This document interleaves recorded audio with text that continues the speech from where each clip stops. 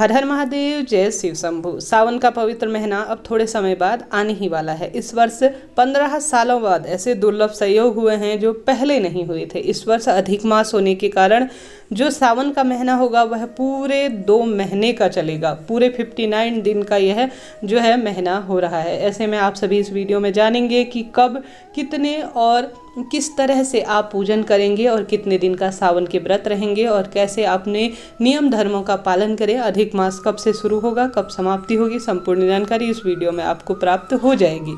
देर न करते हुए शुरू करते हैं। आप सभी चैनल पर नए हैं तो अनुरोध है लाइक कीजिएगा, शेयर कीजिएगा और सब्सक्राइब कीजिएगा। साथ ही कमेंट्स बॉक्स में हर हर महादेव ज़रूर से लिखिएगा। हम सभी शिव भक्तों के लिए सावन का महीना बहुत विशेष होता है। साल भर में आने वाले यह दिन अपने आप में भक्तिमय है, अपने आप में जागृत हैं, अपने आप में अद्भुत है।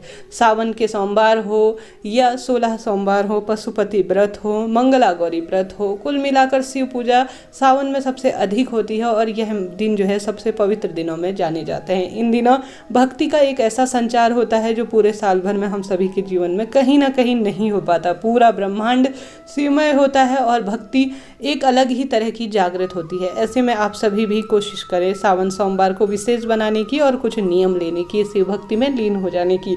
तो इस वर्ष 2023 में जो सावन है वह कब से शुरू होगा, सबसे पहले यह जान लेते हैं। 2023 में सावन का महीना 4 जुलाई से शुरू हो रहा है और 31 अगस्त तक यह चलेगा। ऐसा क्यों हो रहा है? क्योंकि इस वर्ष अधिक मास, जिसे मलमास भी कहा जाता है, उस कारण से हो रहा है।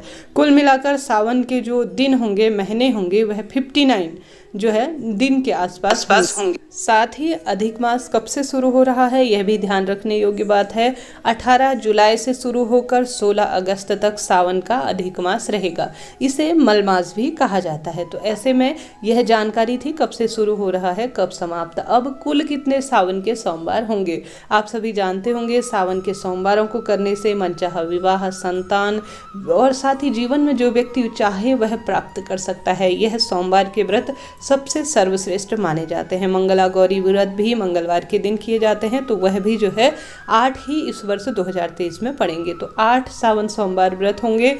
आप सभी जो है पहला व्रत करेंगे 10 जुलाई को, ठीक है? दूसरा सावन का जो सोमवार होगा वह 17 जुलाई को पड़ेगा। तीसरा जो सावन का सोमवार होगा वह 24 जुलाई को पड़ेगा। सावन का जो चौथा सोमवार होगा वह 31 जुलाई को होगा। सावन का पांचवा सोमवार 7 अगस्त को होगा। सावन का छठा सोमवार 14 अगस्त को होगा। सावन का सातवां सोमवार 21 अगस्त के दिन रहेगा। तो इस तरह से 2023 में कुल आठ सोमवार के व्रत किए जाएँगे।